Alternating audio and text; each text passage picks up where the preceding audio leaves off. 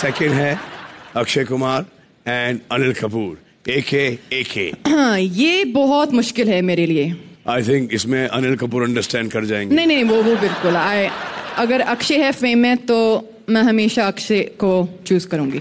Sorry Anil sorry Anil ji. ओ ऐसे है हाँ। नेक्स्ट शाहरुख खान एंड अक्षय कुमार हाँ, ये याद ये याद रखो कि आपकी नेक्स्ट फ़िल्म टाइगर हाँ। ज़िंदा है के बाद है किसकी? शाहरुख के। साथ। तो ये काफ़ी मुश्किल डिसीज़न है।